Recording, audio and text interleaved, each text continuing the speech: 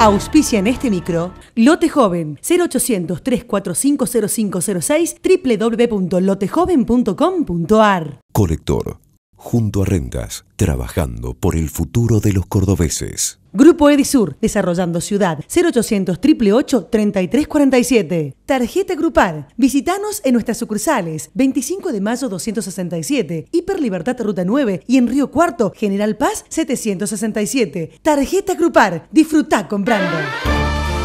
Bienvenidos.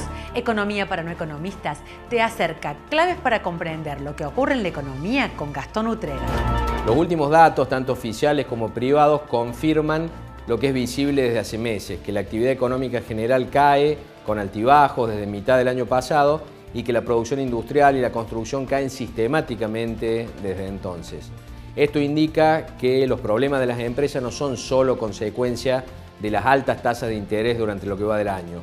Las altas tasas de interés complicaron la situación, pero los problemas vienen desde antes.